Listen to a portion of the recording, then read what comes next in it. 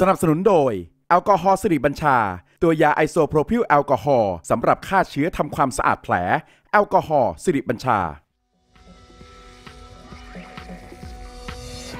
สวัสดีค่ะ สวัสดีครับ ต้อนรับเข้าสู่ Business Watch นะครับ เราเจอกันวันนี้พุธที่ 17 สิงหาคม 2565 นะครับ มาจับกระแสธุรกิจและมองหาโอกาสการลงทุนไปพร้อม ๆ กันกับผมโสพลณวรัตนาพงศ์ และคุณชยาทิพย์โรจนะโกสินทร์ครับ ค่ะ เจอกับเราสองคนสามทุ่มสินะคะครับจันทร์ถึงศุกร์และทุกวันอาทิตย์เวลาสามทุ่มที่หน้าจอ TNN ช่อง 16 และทุกแพลตฟอร์มออนไลน์เลยนะคะ ฝากคุณผู้ชมกดไลค์ กดแชร์ แล้วก็คอมเมนต์มาพูดคุยกับพวกเราด้วย อย่าลืมสแกน QR code ที่มุมจอด้วยค่ะ คืนนี้มีอะไรมาฝากไปติดตามกันค่ะ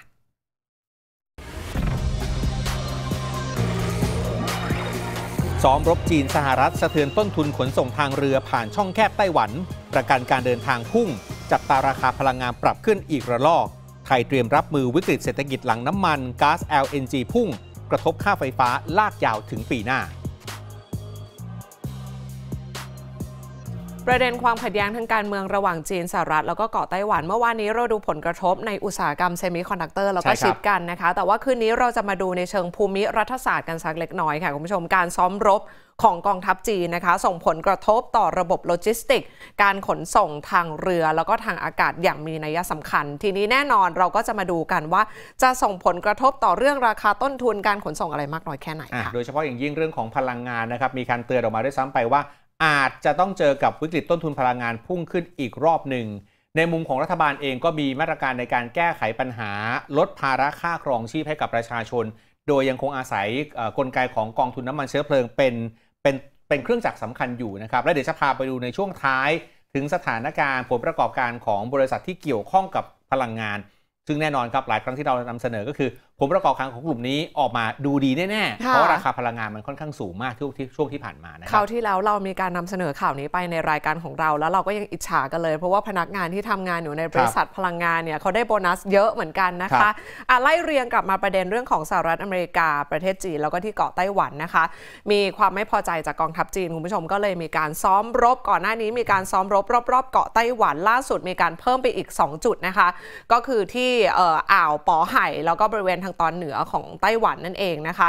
เป็นอ่าวทางตอนเหนือก็ใกล้ๆกับญี่ปุ่น แล้วก็ทางเกาหลี ทีนี้ประเทศจีนก็มีการขยายระยะเวลาการซ้อมรบตอนแรกอยู่ที่ 5 วัน 7 วัน เลื่อนไปเป็น 1 เดือนนะคะ ซึ่งการขยายระยะเวลาแบบนี้ก็จะส่งผลกระทบต่อระบบโลจิสติกส์ หรือว่าการขนส่งทางน้ำทางอากาศ มีข้อมูลจากคุณไพจิตร วิบูลย์ธนสารนะคะ รองประธานและเลขาธิการหอการค้าไทย ในประเทศจีนก็ประเมินสถานการณ์การซ้อมรบของจีนนี่แหละ ว่า 5 วัน 7 วันอาจจะกระทบระยะสั้น แต่ถ้าเป็นเดือนก็จะกระทบระยะยาวนะคะ ไม่ว่าจะเป็นโลจิสติกส์ทั้งทางเรือและอากาศ แล้วก็ที่ผ่านมาเนี่ยคุณผู้ชมมีการยกเลิกผู้โดยสาร การขนส่งผู้โดยสารไปเสี่ยเหมือนไปเที่ยวเรียบร้อยแล้วนะคะ ตอนนี้ก็ส่งผลกระทบต่อภาคธุรกิจด้วย ถ้าเราไปดูตัวเลขกันว่าจะส่งผลกระทบต่อผู้ประกอบการในภาคธุรกิจมากน้อยแค่ไหน ถ้าเกิดว่าจะต้องขนส่งทางเรือคุณผู้ชมจะต้องอ้อมนะคะ และจะต้องใช้เวลาเพิ่มประมาณ 3 วัน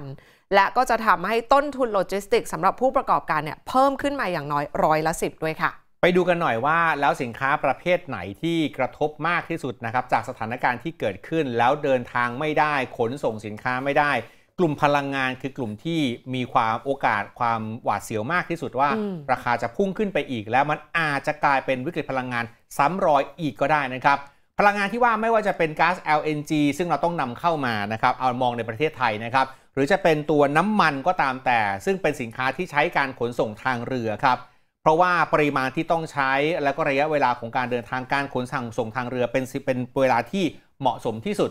แล้วการสต็อกปริมาณไม่ว่าจะเป็นน้ำมันหรือก๊าซ LNG แต่ละประเทศสามารถสต็อกได้ก็จริง แต่ว่าระยะเวลาของการสต็อก มันก็มีกำหนดของมันอยู่ว่าทำได้มากน้อยแค่ไหนอืมแล้วถ้าระยะเวลาของการสต็อกเก่าที่มีอยู่ มันลากยาวไปมากกว่าสต็อกที่มีอยู่จริง ๆ ซ้อมรบนานกว่าโลจิสติกส์เดินทางไม่ได้ กลายเป็นว่ามันมีความเสี่ยงที่จะเกิดวิกฤตพลังงานรอบใหม่เกิดขึ้นมาก็ได้เช่นเดียวกันนะครับและอีกหนึ่งผลกระทบก็คือผลกระทบเรื่องของการขนส่งทางอากาศ เครื่องบินต้องเปลี่ยนเส้นทางการบินครับเมื่อเปลี่ยนเส้นทางการบินต้องบินไปอ้อมทางตอนเหนือของไต้หวันค่ะหมายความว่าระยะเวลาของการบินจะเพิ่มขึ้นประมาณ 20-30ถึง30 นาที มันก็จะทบต่อทั้งสายการเดินเรือ สายการบินอาจจะต้องมีการเปลี่ยนตารางการบินสุดท้าย มันจะกระทบไปถึงเรื่องของการส่งขนส่งสินค้าในที่สุดด้วยครับ ค่ะ ถ้าเกิดว่าไปดูปัญหาเก่าๆนะคุณผู้ชมจริง ๆ เรื่องของการขนส่งเนี่ยมีมาตั้งแต่ช่วงโควิดแล้วนะครับ ใช่ค่ะ ไม่ว่าจะเป็นปัญหาเรื่องของวิกฤตค่าระวางเรือที่เพิ่มสูงขึ้น แล้วก็การขาดแคลนตู้คอนเทนเนอร์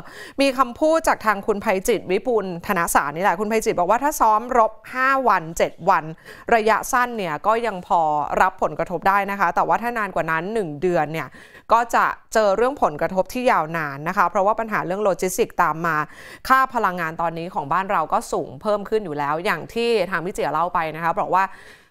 ปกติแล้วที่เราจะต้องขนส่งพลังงานเนี่ยก๊าซธรรมชาติเหลวอย่าง LNG เนี่ยก็ใช้ทางเรือเป็นส่วนใหญ่นะคะ การขนส่งบรรทุกน้ำมันก็เช่นกัน ทีนี้ตอนนี้เดี๋ยวเราก็จะมาไล่เรียงกัน เพราะว่ามันจะส่งผลกระทบต่อค่าไฟ FT ของบ้านเราด้วย เพราะว่าก๊าซธรรมชาติเหลวอย่าง LNG นี่ก็คือเชื้อเพลิงสำคัญในการเอามาผลิตไฟฟ้า ใช่ครับค่ะมีมุมมองของนักวิชาการจากรองศาสตราจารย์ดรอัดพิสารบานิชนะครับเป็นผู้อำนวยการศูนย์ศึกษาการค้าระหว่างประเทศ ของมหาวิทยาลัยหอการค้าไทย อาจารย์อัดวิเคราะห์ว่าด้วยสถานการณ์ปัจจุบันนะครับ ถึงแม้จะมีการซ้อมรบกับจากจากจีนในบริเวณรอบๆ เกาะไต้หวัน แต่สถานการณ์ความรุนแรง ณตอนนี้ยังไม่ได้มีอะไรรุนแรงมากไปกว่าการจับจ้อง จับตาสถานการณ์ซึ่งกันและกันค่ะสิ่งที่น่าสนใจเป็นอย่างมากก็คือว่า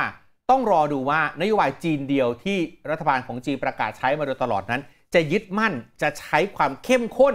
ในการยึดนโยบายจีนเดียวในช่วงเวลาต่อจากนี้มากน้อยแค่ไหนอย่างไรบ้างอืมจริงอยู่ว่าในสถานการณ์ปัจจุบันครับ การซ้อมรบยังไม่ได้มีผลกระทบอะไรมากมายนัก แต่มันมีผลในแง่ของอารมณ์ความรู้สึกและความมั่นใจของนักธุรกิจในการลงทุนแน่ ๆ เพราะถ้ายังสถานการณ์ยังคุกรุ่นแบบนี้ คนจะตัดสินใจลงทุน คนจะส่งตัดสินใจส่งสินค้า สั่งซื้อสินค้า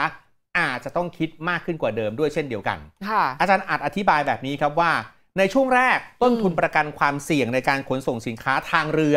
ขยับขึ้นแน่ๆครับ ยิ่งถ้าหากว่าเห็นชัดว่านโยบายจีนเดียว ใช้อย่างเข้มข้นจริง ๆ แต่นโยบายทางการอาหารเปลี่ยนได้ตลอดเวลาครับ แต่ในแง่ของการขนส่งทางเรือใช้ระยะเวลาหลายวันความเสี่ยงมันจึงสูง โดยเฉพาะอย่างยิ่ง 4 ประเทศหลักๆ ที่ใช้เส้นทางนี้แน่ ๆ จีน ญี่ปุ่น เกาหลีใต้ และ ไต้หวันครับค่ะถ้าไปดูช่องแคบไต้หวันคุณผู้ชมดูแผนที่ก็จะเป็นจุดที่จะเชื่อมต่อไปยังทวีปต่างๆ ไม่ว่าจะครับเป็นทางตะวันออกกลางยุโรปสหรัฐอเมริกาด้วยนะคะ ดังนั้นเรื่องของค่าระวังเรืออะไรที่อาจจะเพิ่มสูงขึ้นอืมอีก แล้วก็ค่าประกันนะคะ ที่มีผลกับเรื่องของนโยบายทางการอาหารด้วย ทีนี้ไปดูสถิติกันคุณผู้ชมว่าปัจจุบันนี้สินค้าที่ขนส่งทางทะเลของโลกเนี่ย ปัจจุบันนะคะปีละ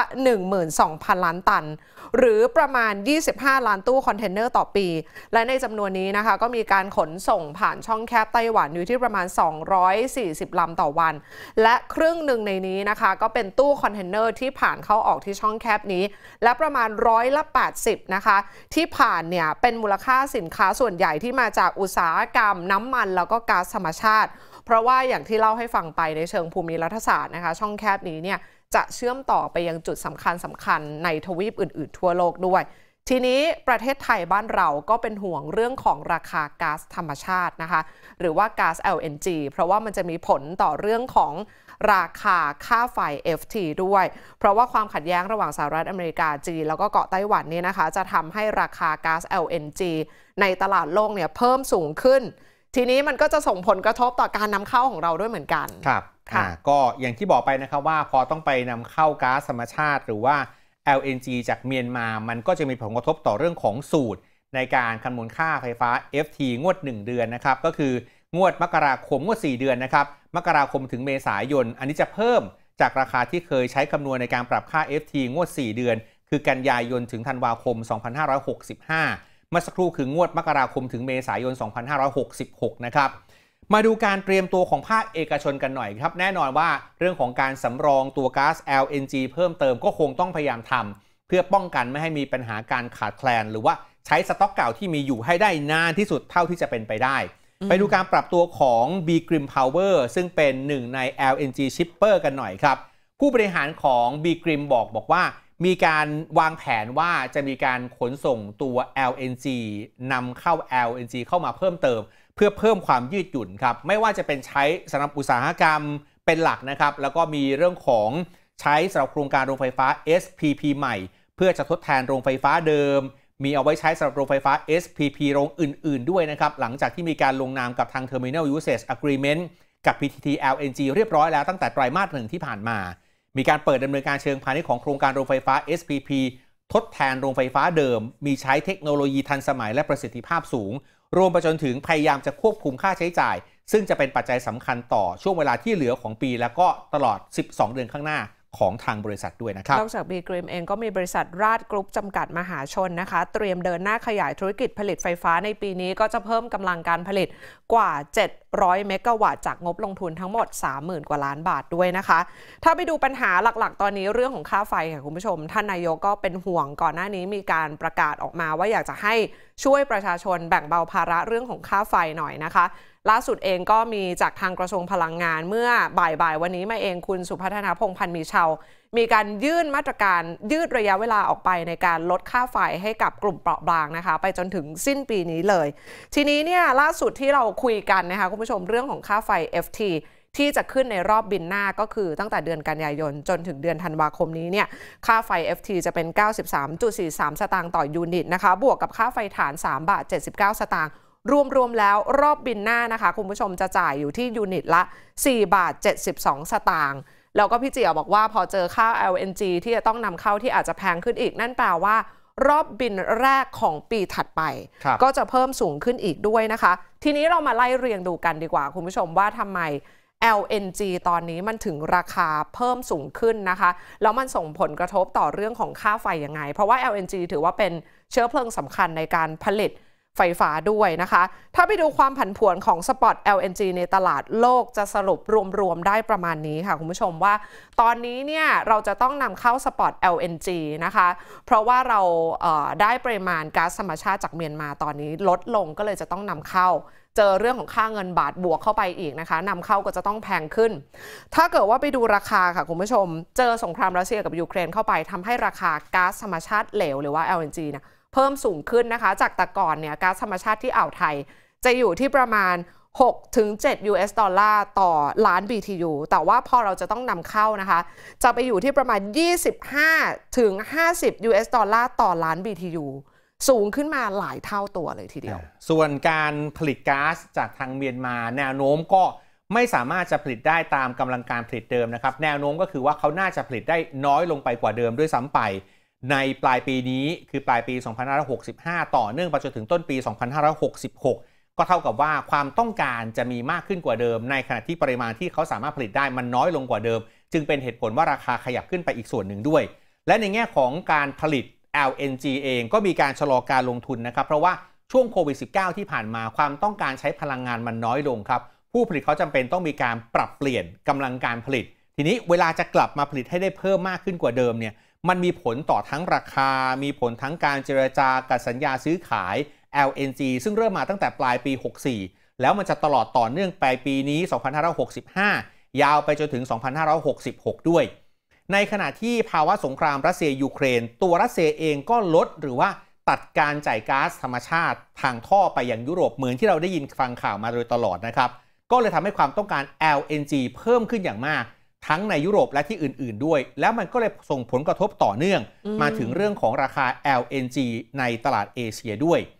จากความไม่แน่นอนของแหล่งก๊าซในประเทศด้วย แล้วก็เมียนมาที่เมื่อกี้สักครู่เรียนไปนะครับทำให้ทางกกพก็ต้องเตรียมพร้อมเหมือนกันในแง่ของการใช้น้ำมันตัวเชื้อเพลิงสำรอง ไม่ว่าจะเป็นน้ำมันเตา น้ำมันดีเซล หรืออาจจะเป็นเชื้อเพลิงประเภทอื่น ๆ ครับถ่านหิน พลังงานน้ำพลังงานทดแทน เพื่อรับกับสถานการณ์ที่ก๊าซอาจจะขาดแคลนได้ ซึ่งมันจะเป็นสถานการณ์ต่อเนื่องมาจากปลายปี 65 แล้วต่อเนื่องไปถึงปีหน้าด้วยนะครับปานตามแนวทางมีการเสนอไปทางกพชแล้วว่า ขอให้มีการใช้ไฟฟ้าอย่างประหยัด จะได้ใช้ทรัพยากรที่มีอยู่อย่างคุ้มค่าให้มากที่สุด แล้วก็ลดการนำเข้าสปอต LNG เพื่อจะเพิ่มความมั่นคง ในการผลิตไฟฟ้าในช่วงเวลาที่ว่านี้ด้วยนะครับ ตอนนี้ไฟก็ต้องประหยัดน้ำมันก็ต้องประหยัดนะคะ ทีนี้รัฐบาลเองก็มีปม 2 เรื่องหลักๆ ที่จะต้องดูแล เพราะว่าเรื่องของค่าครองชีพนั้นก็สูงเหลือเกินนะคะคุณผู้ชมเดี๋ยวช่วงหน้าเรามาติดตามกันดีกว่าว่า รัฐบาลเขามีมาตรการเรื่องของการช่วยเหลือค่าครองชีพมากน้อยแค่ไหน รวมไปถึงติดตามสถานะกองทุนน้ำมันด้วยนะคะว่าเป็นยังไงบ้างค่ะ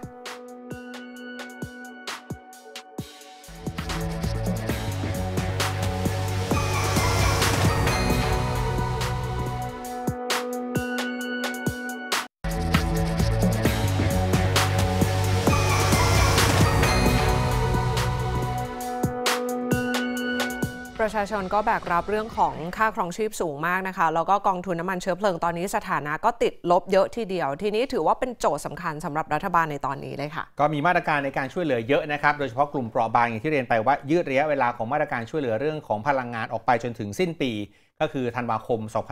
2565 ทีนี้คำถามสำคัญก็คือว่ามี 2 ข้อด้วยกันเป็นอย่างน้อยครับ ข้อแรกก็คือว่ารัฐบาลจะมีมาตรการอะไรใหม่ออกมาบ้างในการให้ความช่วยเหลือลดภาระค่าครองชีพให้กับประชาชน หรือถ้าอะไรควรจะต้องหยุดอะไรจะต้องหยุดบ้าง นั่น 2 ข้อเป็นอย่างน้อยนะครับ อีกประเด็นที่สำคัญมากก็คือรัฐบาลจะเอาเงินที่ไหนมาใช้เพื่อการที่จะสนับสนุน ลดภาระค่าครองชีพให้กับประชาชน วิธีที่ง่ายที่สุดตรงที่สุดก็คือการกู้ยืมครับ แต่แน่นอนว่ารัฐบาลต้องคิดหนักพอสมควรว่า ถ้าจะกู้ยืมต้องคิดถึงเรื่องของวินัยการเงินการคลัง คิดถึงตัวภาระหนี้ของรัฐบาล ซึ่งสุดท้ายต้องกลับมาชดใช้คืนในอนาคตอย่างแน่นอน เพราะว่าตั้งแต่เกิดโควิด -19 ขึ้นมา รัฐบาลใช้มาตรการในการดูแลประชาชนด้านพลังงานวงเงินมากกว่า 2 แสนล้านบาทครับ เป็นวงเงินที่สูงทีเดียว เพราะฉะนั้นกระทรวงการคลังมีหน้าที่ต้องบริหารจัดการอย่างรอบคอบ โดยเฉพาะอย่างยิ่งมาตรการที่จะดูแลประชาชนยาวไปจนถึงธันวาคม 2565 เบื้องต้นมีการเสนอคอรมอครับกับพรกให้อำนาจกระทรวงการคลังค้ำประกันการชำระหนี้ของสำนักงานกองทุนน้ำมันเชื้อเพลิง แล้วก็การกู้ยืมเงินของสำนักงานกองทุนน้ำมันเชื้อเพลิง อันนี้ตามข้อมูลคือเป็นวาระลับในที่ประชุม เสนอโดยคุณสุพัฒนพงพันธ์มีชาวรองนายกรัฐมนตรี และรัฐมนตรีพลังงาน วัตถุประสงค์ก็คือเปิดช่องให้กระทรวงการคลังเป็นคนค้ำประกันวงเงินกู้ได้นะครับในวงเงินไม่เกิน 1 5 0 0 0 0 ล้านบาท ซึ่งทางสำนักงานกองทุนน้ำมันเชื้อเพลิงจะเป็นหน่วยงานที่ทำหน้าที่ในการหาแหล่งเงินกู้ ทีนี้สถานะของกองทุนน้ำมันเชื้อเพลิงณ 14 สิงหาคมคือ ติดลบอยู่ประมาณ 117,000 กว่าล้านบาท มาสักสองส่วนด้วยกันครับ ส่วนของน้ำมันติดลบอยู่ 76,000 กว่าล้านบาท และ LPG ติดลบอยู่ประมาณ 4,876 ล้านบาทครับ ถ้าย้อนกลับไปตั้งแต่เกิดสงครามรัสเซียกับยูเครนประมาณปลายเดือนกุมภาพันธ์นะคะก็มีการอุดหนุนสถานะกองทุนน้ำมันเชื้อเพลิงค่ะคุณผู้ชมตั้งแต่เดือน มีนาคมไล่เรียงมาประมาณ 4 เดือนนะคะ ซึ่งแต่ละเดือนเนี่ยจะใช้งบประมาณอยู่ที่ประมาณ 20,000 ล้านบาท ตอนแรกรายการเรานำเสนอข่าวไปนะคะ ว่ากองทุนเนี่ยติดลบอยู่ประมาณ 60,000 ล้าน ไล่เรียงมาเป็น 80,000 90,000 จนล่าสุดเนี่ยก็คือประมาณแสนกว่าล้านแล้ว ก็เลยมีการคาดการณ์กันว่าจนถึงสิ้นปีนี้นะคะ สถานะกองทุนน้ำมันเชื้อเพลิง อาจจะไปติดลบถึง 2 แสนล้านบาท ซึ่งที่ผ่านมาค่ะ กระทรวงพลังงานก็มีการดำเนินการตามแผนเงินกู้ เพื่อที่จะดำเนินโครงการ ในการใช้เป็นเงินทุนหมุนเวียนในการดำเนินงานกิจการทั่วไปของสำนักงานกองทุนน้ำมันเชื้อเพลิง หรือว่าสกนช วงเงินประมาณ 20,000 ล้านบาท ก็เป็นเงินกู้ระยะสั้นเพื่อเสริมสภาพคล่อง ในรูปแบบเครดิตไลน์ให้กองทุนน้ำมันไปชดเชยราคาน้ำมันขายปลีกตามมติของคอรมอวันที่ 16 พฤศจิกายน 2564 นะคะ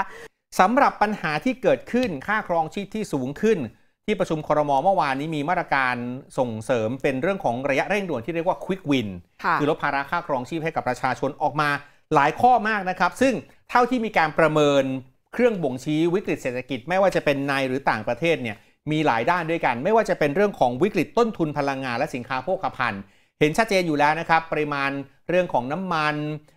ก๊าซไฟฟ้าและสินค้าที่จำเป็น ตามข้อมูลคือยังไม่ขาดแคลน แต่ราคามันสูงขึ้นครับและจากการดำเนินงานตามมาตรการช่วยเหลือของรัฐบาลก็ทำให้กองทุนน้ำมันเชื้อเพลิงนั้น มีปัญหาเรื่องของขาดสภาพคล่องค่ะประเด็นที่ 2 ก็คือการขึ้นของต้นทุนการผลิตนะครับ แล้วก็การขาดแคลนวัตถุดิบด้านการเกษตร ปรากฏว่าวัตถุดิบที่สำคัญสำคัญเรื่องของที่เกี่ยวข้องกับการเกษตร ไม่ว่าจะเป็นปุ๋ยอาหารสัตว์ ไม่ขาดแคลนเหมือนกันครับ ปริมาณไม่ได้ขาดแคลนแต่ราคามันขยับสูงขึ้น และผลที่ตามมาก็คือทำให้ตัวสินค้าบางเกษตรบางรายการ ขยับราคาไม่ได้ และกลายเป็นว่าราคาขายมันต่ำกว่าต้นทุน ไม่ว่าจะเป็นข้าวอืม ข้าวนาปีนะครับหรือว่ายางพาราอย่างนี้เป็นต้นครับค่ะประเด็นที่ 3 ก็คือวิกฤตเรื่องของการเงินในภาคครัวเรือนแล้วก็ภาคธุรกิจ SME ที่ก่อนหน้านี้เราเป็นห่วงเหมือนกันนะคะว่าหนี้ครัวเรือนเนี่ยที่มีสัดส่วนต่อ GDP ประมาณร้อยละ 90 กว่านะคะคุณผู้ชมตอนนี้ดีขึ้น เพราะว่ารายได้ประชาชนเริ่มเพิ่มสูงขึ้น แต่ก็ยังน่าเป็นห่วงอยู่ เพราะว่ารายจ่ายก็เพิ่มสูงขึ้นด้วย โดยเฉพาะเรื่องของค่าโดยสารค่าน้ำมันอะไรต่างๆนะคะแล้วก็ SME ด้วยที่ตอนนี้เรื่องของสภาพคล่องที่จะต้องจับตาดูค่ะ ปประเด็นที่ 4 เป็นเรื่องของวิกฤตเชิงโครงสร้างเศรษฐกิจ แล้วก็การลดลงขีดความสามารถในการแข่งขัน อันนี้ก็ถือว่าเป็นพื้นฐานสำคัญในการรองรับวิกฤตเศรษฐกิจในอนาคตนะคะ พบว่าควรที่จะต้องเร่งสร้างขีดความสามารถตรงนี้เพิ่มขึ้นด้วย อันนี้เป็นประเด็นวิกฤต 4 ประเด็นที่เราจะต้องให้ความสนใจนะคะครับทีนี้มาตรการระยะเร่งด่วน หรือว่า Quick Win รัฐบาลเขามีมาตรการอะไรบ้าง ดูกันเร็วๆ คุณผู้ชมมีประมาณ 10 กว่ามาตรการได้นะคะ มาตรการแรกก็คือมาตรการขอความร่วมมือจากภาคเอกชน ให้ลดการใช้ไฟฟ้าก็คือให้ประหยัดไฟนะคะ รวมไปถึงข้อที่ 2 ก็คือลดใช้ไฟฟ้าในหน่วยราชการ แล้วก็บังคับนะคะให้ใช้ปฏิบัติงานนอกสถานที่เร่งรัดให้ร่างระเบียบสำนักนายกรัฐมนตรีในเรื่องของการปฏิบัติงานนอกที่ตั้งส่วนราชการนะคะแล้วก็จัดจำหน่ายบัตรโดยสารรายเดือน อันนี้ก็อาจจะช่วยเรื่องของ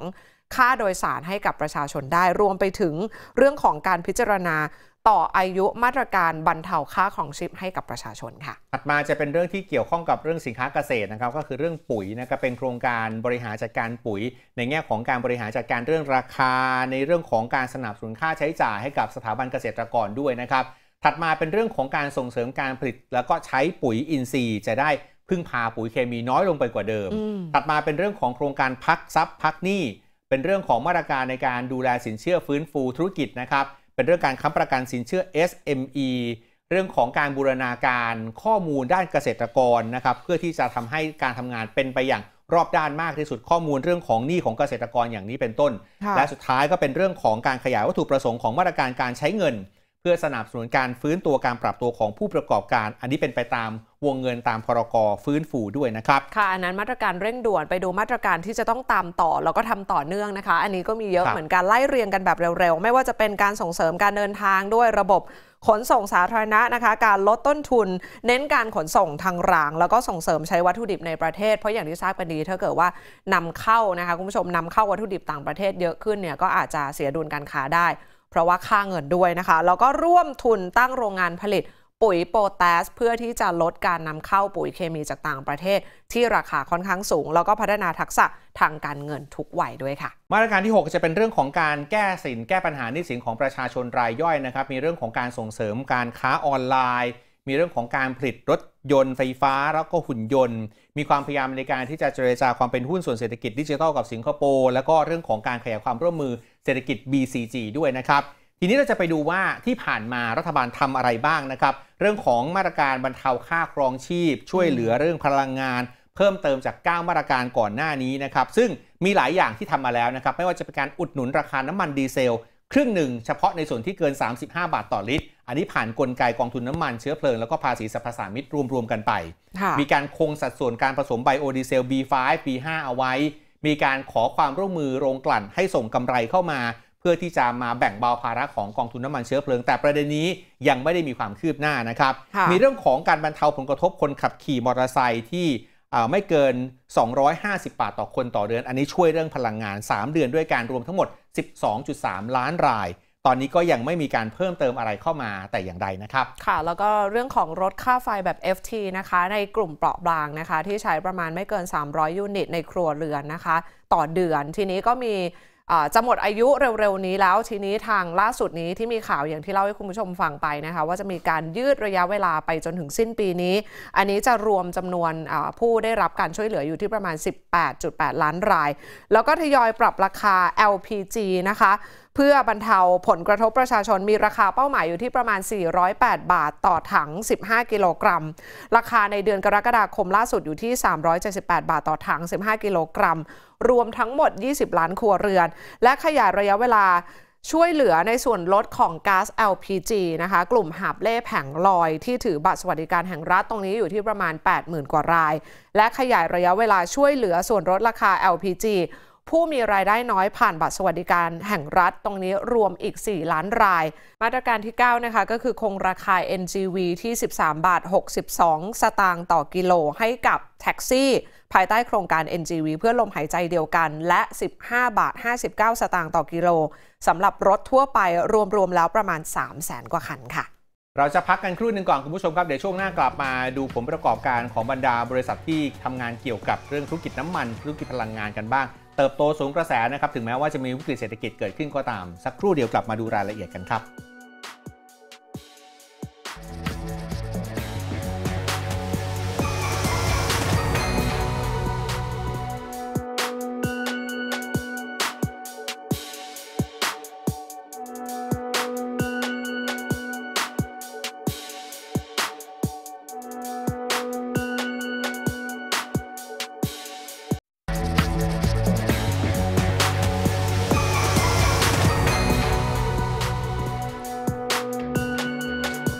กฤตเศรษฐกิจที่เกิดขึ้นในรอบนี้ ราคาพลังงานดีตัวขึ้นไปแรงตั้งแต่ประมาณสักต้นปีที่ผ่านมานะครับแล้วก็แน่นอนว่าทุกทุกอุตสาหกรรมกระทบทั้งหมด ในมุมของธุรกิจที่เกี่ยวข้องกับพลังงาน ก็มีความผันผวนในตัวเองอยู่พอสมควรนะครับแต่ว่าถึงมาทัดสุดท้ายแล้วผมประกอบการออกมาค่อนข้างดีมากเลยทีเดียว วันนี้จะพาไปสำรวจหลายบริษัทว่าผลประกอบการเขาเป็นยังไงบ้าง เริ่มต้นจากบริษัทยักษ์ใหญ่ด้านพลังงานในบ้านเราอย่างปตทกันหน่อยนะครับเครือปตททั้งเครือมีธุรกิจที่เกี่ยวข้องกับพลังงานหลายด้านมาก ทั้งพลังงานต้นน้ำกลางน้ำแล้วก็ปลายน้ำแต่ว่าบริษัทแม่อย่างปตท ข้อมูลจากคุณอัธพลเลิกพิบูลประธานเจ้าหน้าที่บริหาร ให้ข้อมูลว่าครึ่งปีแรกครับ 6 เดือนแรก รายได้ของกลุ่มปตท ตัวเลขรวมทั้งหมดออกมาคือประมาณ 1.68 ล้านล้านบาท หากค่าใช้จ่ายไปแล้ว กลุ่มปตทมีกำไรสุทธิรวมคือประมาณ 64,400 ล้านบาท เป็นอัตรากำไรประมาณร้อยละ 5 แต่เป็นอัตราที่ลดลงจากช่วงเดียวกันของปีก่อนหน้า คือปี 2564 ครับ เหตุผลที่กำไรสุทธิถึงแม้ว่าจะเติบโตร้อยละ 5 แต่เป็นอัตราที่ลดลงจากระยะเดียวกันของปีก่อนหน้า เพราะว่าต้นทุนก๊าซธรรมชาติราคามันถีบตัวขึ้นไปสูงมาก ก็ทำให้ต้นทุนขยับสูงขึ้นตามไปด้วยครับ ในจำนวนกำไรที่เห็นเมื่อสักครู่นี้ประมาณ 60,000 กว่าล้านบาท คิดเป็นสัดส่วนที่ตัวบริษัทแม่คือปตทดำเนินการเองเนี่ยมีสัดส่วนอยู่ประมาณร้อยละ24 ซึ่งที่เหลืออีกประมาณร้อยละ76 เป็นผลประกอบการของบริษัทลูกอย่างที่เรียนว่า มีในหลาย ๆ ขั้นตอนการผลิตนะครับสอพอ GC และอื่น ๆ ซึ่งตัวสัดส่วนที่มาจากกำไรของปตท บริษัทแม่ก็ลดลงเช่นเดียวกันนะครับ ทีนี้เราไปดูกันต่อว่าแล้วในปี 2565 ปตทยังมีแผนการลงทุนคาดการว่าจะใช้เม็ดเงินประมาณ 91,000 ล้านบาทวัตถุประสงค์หลักของการลงทุน 91,000 ล้านบาทมี 2 ส่วนด้วยกัน แน่นอนส่วนแรกคือรักษาการเติบโตของบริษัทเองครับ และ 2 คือรักษาความมั่นคงด้านพลังงานให้กับประเทศ สิ่งที่ปตทจะลงทุน 91,000 ล้านบาทมีหลายอย่างด้วยกันครับ ไม่ว่าจะเป็นเรื่องของ LNG ธุรกิจก๊าซท่อส่งก๊าซรวมไปจนถึงการลงทุนในธุรกิจใหม่ ๆ และก็โครงสร้างพื้นฐานที่จำเป็นต่องานด้านพลังงานของประเทศครับ จากปตทไปดูที่บางจากกันบ้างค่ะ คุณผู้ชม เป็นข้อมูลจากคุณชัยวัฒน์โควาวิสารัตน์นะคะ ประธานเจ้าหน้าที่บริหารและกรรมการผู้จัดการใหญ่ออกมาเปิดเผย ผลการดำเนินงานสำหรับครึ่งปีแรกนะคะ ว่าเป็นยังไงบ้างนะคะ กลุ่มบางจากมีรายได้ทั้งหมด 152,852 ล้านบาท เพิ่มขึ้นมาร้อยละ 80 เมื่อเทียบกับช่วงเดียวกันของปีก่อน แล้วก็มีกำไรนะคะ อยู่ที่ประมาณ 26,200 ล้านบาท เพิ่มขึ้นมา 192% ผลการดำเนินงานที่ปรับเพิ่มขึ้นมา ก็แน่นอนมีปัจจัยบวกหลายอย่างด้วยกัน ไม่ว่าจะเป็นเรื่องของกิจกรรมทางเศรษฐกิจ ที่ตอนนี้เริ่มปรับตัวกลับเข้ามาแล้วนะคะ ก็เลยมีดีมานเรื่องของการใช้พลังงานการใช้น้ำมันกลับเข้ามา แล้วก็ราคาน้ำมันดิบในตลาดโลกในช่วงที่ผ่านมามีการปรับตัวสูงขึ้น ก็เลยอาจจะเป็น ประโยชน์ให้กับกลุ่มผู้ผลิตพลังงานด้วยนะคะ ขณะที่ตอนนี้อุปทานน้ำมันก็ยังมีความตึงตัว หรือว่ามีปัจจัยที่จะต้องจับตาเหมือนกัน ก็คือเรื่องของสงครามรัสเซียกับยูเครนเหมือนเดิม และกลุ่ม OPEC Plus ไม่สามารถเพิ่มปริมาณการผลิตน้ำมันได้ตามเป้าหมายที่ตั้งเอาไว้ได้ด้วยค่ะถัดมาไปดู PTG กันต่อบ้างนะครับ PTG ผลการดำเนินงานในช่วงครึ่งแรก ครึ่งปีแรกนะครับ ตัวรายได้ก็เติบโตอย่างน่าสนใจด้วยเช่นเดียวกัน เดี๋ยวเราไปดูตัวเลขกันนะครับของ PTG รายได้ครึ่งปีของเขาคือประมาณ 85,000 กว่าล้านบาท เป็นตัวเลขที่ขยับบวกขึ้นมาจากระยะเดียวกันของปีก่อนประมาณร้อยละ 30 นะครับก็จะแบ่งรายได้ออกเป็น 2 ส่วนด้วยกัน ส่วนหนึ่งคือส่วนที่เป็นออยคือธุรกิจและบริการที่เกี่ยวข้องกับน้ำมันอันนี้สัดส่วนเพิ่มขึ้นมาประมาณร้อยละ28.9ครับ ส่วนอีกส่วนหนึ่งเป็นธุรกิจที่เป็นนอนออยคือเป็นร้านสะดวกซื้อเป็นร้านอื่นๆ ที่เกี่ยวข้อง อันนี้ก็มีสัดส่วนรายได้ขยับปรับเพิ่มขึ้นมาด้วยเช่นเดียวกันนะครับ เพิ่มขึ้นมาถึงประมาณร้อยละ57.7 แต่ก็ต้องยอมรับว่าธุรกิจที่เป็นตัวออยเนี่ยมีสัดส่วนถึงร้อยละ 95 จากรายได้ธุรกิจทั้งหมดของ PTG ของ PTG ด้วยนะครับ PTG ก็คาดการณ์ว่าปีนี้ทั้งปีนะคะ อาจจะขายน้ำมันเพิ่มได้ขึ้นประมาณร้อยละ6ถึงร้อยละ10 แล้วก็ขายแก๊ส LPG เพิ่มขึ้นได้ประมาณร้อยละ50ถึงร้อยละ60 แล้วก็ยอดขายนอนออยก็น่าจะเพิ่มขึ้นร้อยละ80ถึงร้อยละ90 ด้วยนะคะ ถ้าไปดูกำไรของบริษัท น้ำมันทั่วโลกเนี่ยก็เพิ่มสูงขึ้นน่าสนใจทีเดียว อย่าง Exxon Mobil ค่ะคุณผู้ชม ครึ่งปีแรกนะคะผลประกอบการเนี่ยทำกำไรไป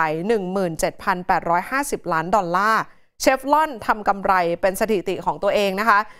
11,620 ล้านดอลลาร์ จนกระทั่งว่าประธานาธิบดีสหรัฐอย่างนายโจไบเดนถึงกับกล่าวไว้เลยว่า Exxon ทำเงินได้มากกว่าพระเจ้าซะอีกนะคะ ซึ่งการทำรายได้ของอุตสาหกรรมน้ำมันก็ ขัดแย้งกับเรื่องของค่าครองชีพของประชาชนที่ตอนนี้มีการปรับตัวสูงขึ้น ก็เลยมีกระแสเรียกร้องว่าควรที่จะเก็บภาษีลาบลอย หรือว่า windfall tax หรือเปล่านะคะถึงขั้นเลขาธิการของ UN อย่างนายอันโตนิโอ กูเตเรส มีการเรียกร้องให้รัฐบาลทั่วโลกพิจารณา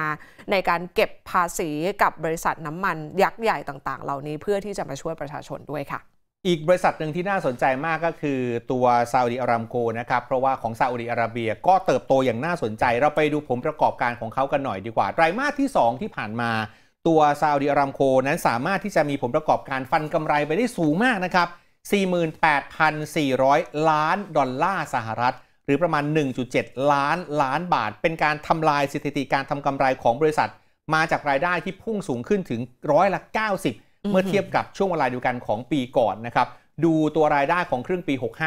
80,000 กว่าล้านดอลลาร์สหรัฐกำไรไตรมาส2 48,000 กว่าล้านดอลลาร์สหรัฐ และปันผลให้กับผู้ถือหุ้นประมาณ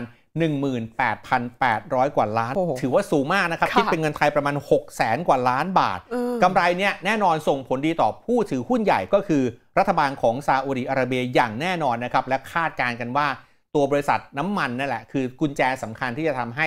รัฐบาลสามารถที่จะประคับประคอง แล้วก็ทำให้เศรษฐกิจของซาอุดิอาระเบีย เติบโตขึ้นได้ ในภาวะที่มีวิกฤตเกิดขึ้นในปัจจุบันด้วยครับ สถานะของอารัมโกนี่คะก็จะส่งผลกระทบต่อสถานะความมั่นคงของซาอุดิอาระเบีย ทั้งประเทศเลยก็ว่าได้นะคะคุณผู้ชม ในภาวะที่ทั่วโลกหลายประเทศเนี่ยเศรษฐกิจถดถอย แต่สำหรับซาอุดิอาระเบียเนี่ยมีการคาดการณ์จากทาง IMF นะคะบอกว่าเศรษฐกิจเนี่ยอาจจะโตถึงร้อยละ 7.6 ซึ่งถือว่าเป็นอัตราที่สูงที่สุดในโลก และประธานแล้วก็ CEO ของบริษัทน้ำมันซาอุดิอารัมโก บอกว่า อุปสงค์น้ำมันก็น่าจะเติบโตต่อไปในช่วงที่เหลือของทศวรรษนี้ ถึงแม้ว่าการคาดการเศรษฐกิจทั่วโลกตอนนี้ในระยะสั้นๆ จะบอกว่ามีแรงกดดันจากเศรษฐกิจที่ถดถอยก็ตาม พูดง่ายๆว่าน้ำมันก็ยังขายได้ต่อยาวๆ นั่นเองค่ะ รายการเรานำเสนอประเทศอังกฤษ ค่อนข้างที่จะบ่อยนะคะ ในวันนี้ Business World จะพาคุณผู้ชมไปดูเรื่องของอที่ประเทศอังกฤษกันอีกครั้งหนึ่ง เรื่องของราคาพลังงานตอนนี้เพิ่มสูงขึ้นก็เลยมีการคาดการณ์กันว่า อาจจะส่งผลกระทบต่อประชากรชาวอังกฤษประมาณ 10 ล้านครัวเรือน เข้าสู่ภาวะที่เรียกว่ายากจนค่ะ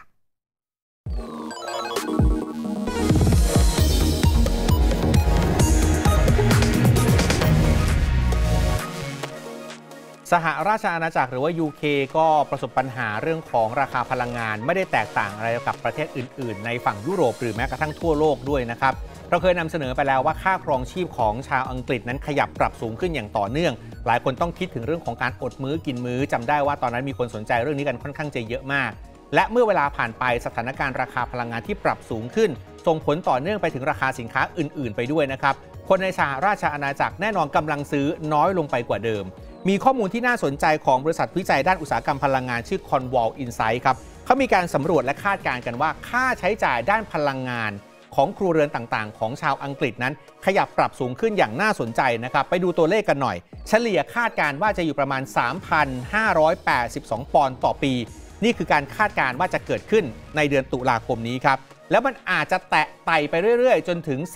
4,200 กว่าปอนด์ภายในเดือนมกราคม 2566 หมายความว่าในระยะเวลาประมาณ 3-4 เดือน ค่าใช้จ่ายจะปรับเพิ่มขึ้น อย่างมีนัยสำคัญอย่างมากๆ หมายความว่าค่าครองชีพของชาวอังกฤษจะสูงขึ้นค่อนข้างจะเยอะมากจริง ๆ นะครับ แล้วคาดการต่อไปอีกด้วยนะครับว่าเขาคนอังกฤษจะต้องใช้จ่ายด้านพลังงานต่อเดือนนะครับต่อเดือนจะอยู่ที่ประมาณ 355 ปอนด์ต่อเดือนในช่วงต้นปีหน้า แล้วขยับเพิ่มขึ้นต่อไปอีกในเป็นในช่วงปีต่อไปในประมาณเป็นปัจจุบันเป็นประมาณ 1,900 กว่าปอนด์ต่อปีครับ แน่นอนทั้งหมดนี้เป็นผลมาจากราคาก๊าซที่สูงขึ้น มีข้อมูลจากทางสำนักงงานตลาดก๊าซและไฟฟ้าหรือ Ofgem เป็นหน่วยงานรัฐบาลของอังกฤษนะครับ หน้าที่คือกำหนดเพดานราคาก๊าซและค่าไฟเขาจะปรับกันทุกๆ ไตรมาส ก่อนหน้านี้ Ofgem ประเมิน ปรับราคาก๊าซค่าไฟทุก 6 เดือน ตอนกุมภาพันธ์เปลี่ยนนโยบายใหม่ครับ เป็นปรับทุก 3 เดือน หลังจากที่ supply supplier ด้านพลังงานของอังกฤษ 29 ราย ล้มละลายเพราะว่าเจอต้นทุนพลังงานที่สูงขึ้น แล้วปรับเพดานไม่ได้เพราะปรับไปได้สุดท้ายล้มหายตายจากไปครับ แต่เมื่อปรับบ่อยขึ้นจาก 6 เดือนเป็น 3 เดือนผลที่ตามมาคือ ภาคครัวเรือนของอังกฤษนี่แหละ ต้องเจอกับภาระค่าก๊าซและค่าไฟที่สูงมาก ค่าครองชีพอื่น ๆ ก็สูงตามไปด้วยครับ ค่าเช่าที่พักอาศัยของเดือนพฤษภาคมพุ่งขึ้นไปอีกประมาณร้อยละ11 ในเดือนในจากปี 2022 ราคาสินค้าอุปโภคบริโภคต่างๆ ขยับปรับเพิ่มขึ้นทั้งหมดนะครับ สถานการณ์แบบนี้อาจจะทำให้ 1 ใน 3 ของครัวเรือนของอังกฤษนั้น ประมาณ 10 ล้านกว่าครัวเรือนด้วยกันนะครับ เสี่ยงที่จะต้องเจอกับภาวะยากจน อันนี้เป็นไปตามภาวะการคาดการณ์ของ OECD ว่าสถานการณ์ของคนอังกฤษจะไปถึงจุดนั้นได้ และประเมินไปแล้วว่าค่าใช้จ่ายด้านด้านอื่น ๆ เมื่อดูรายได้ของคนอังกฤษ หักเครื่องของค่าพลังงานจะพบว่ารายได้ของคนอังกฤษ อยู่ต่ำกว่าเส้นค่าเฉลี่ยความยากจนตามเกณฑ์ของรัฐบาลแล้ว คือน้อยกว่าร้อยละ 60 ของค่ามัธยฐานรายได้ของอังกฤษที่ประมาณ 31,000 ปอนด์ต่อปีครับ จริงอยู่ว่ารัฐบาลอังกฤษจัดสรรงบประมาณ 15,000 ล้านปอนด์มาบรรเทาความเดือดร้อน และมีมาตรการอุดหนุนพลังงานให้กับคนอังกฤษ เป็นมูลค่าประมาณ 400 ปอนด์ต่อครัวเรือนนะครับในช่วงเดือนตุลาคมปีนี้ จนถึงมีนาคมปีหน้าคล้ายๆ กับที่รัฐบาลทำไทยเหมือนกันนะครับ ซึ่งประธานที่ปรึกษาของคนวอลอินไซด์บอกว่า 400 ปอนด์ไม่พอแน่ครับ ที่จะช่วยเหลือเยียวยาผลกระทบที่เกิดขึ้น และเมื่อสถานการณ์มันหนักมากไปกว่านี้ เงิน 400 ปอนด์ยิ่งไม่พอใหญ่นะครับและรัฐบาลอังกฤษก็คงจะไม่สามารถใช้นโยบายอื่น ๆ มาแก้ปัญหาได้อย่างจริง ๆ จัง ๆ เหตุผลมีเรื่องการเมืองเข้ามาเกี่ยวข้องครับ เพราะตอนนี้อยู่ระหว่างการเลือกผู้นำคนใหม่ที่จะมาแทนนายกรัฐมนตรีบอริสจอนสันในเดือนกันยายนนี้ ซึ่งคู่แข่งทั้ง 2 คนแคนดิเดตทั้ง 2 คน แสดงวิสัยทัศน์ในการที่จะจัดการกับวิกฤตพลังงานแบบแตกต่างกันออกไป สิ่งที่น่าสนใจของอรัฐบาลแต่ละประเทศที่ใช้ในการแก้ปัญหา ตอนต้นของรายการเราบอกว่า รัฐบาลไทยต้องคิดหนักว่าจะหาเงินมาจากไหน อาจจะเป็นการกู้เงินซึ่งเป็นวิธีการที่ตรงที่สุด ในขณะที่รัฐบาลอังกฤษเองใช้เงินใช้วิธีการแจกเงิน เพื่อช่วยเหลือเยียวยา 400 ปอนด์แต่ก็ไม่เพียงพออยู่ดีครับ จะเห็นว่าผลกระทบจากวิกฤตด้านพลังงานมันเกิดขึ้นในทุกๆประเทศ แต่ละรัฐบาลใช้วิธีการคล้ายกัน คือใช้เงินอุดหนุนอัดเข้าไปให้กับประชาชน เพื่อประคับประคองสถานการณ์แบบนี้ แต่เงินมีต้นทุนทุกบาททุกปอนด์ครับ ถึงจุดหนึ่งแต่รัฐบาลแต่ละประเทศต้องชดใช้คืน อยู่ที่ว่าใครจะสามารถบริหารจัดการให้ตัวเองสามารถรอดพ้นจากปัญหาวิกฤตหนี้สินที่เกิดขึ้น จากการอุดหนุนเพื่อให้คนของตัวเอง รอดพ้นจากภาวะค่าครองชีพสูงได้ ครทำได้เร็วกว่า ใครทำได้ก่อน มีโอกาสที่จะชนะ แล้วรอดจากวิกฤตนี้ไปก่อนด้วยเช่นเดียวกัน ทั้งหมดนี้คือ Business World ครับ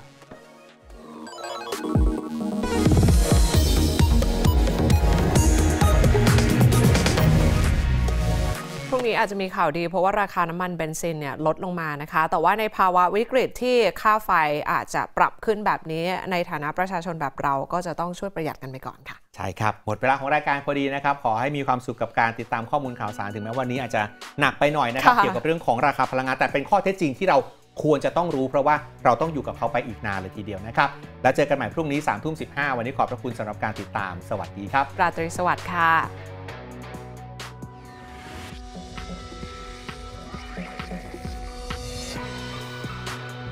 สนับสนุนโดย True 5G อยู่กับ True ดียิ่งกว่า เร็ว แรง ครอบคลุม 77 จังหวัดทั่วไทย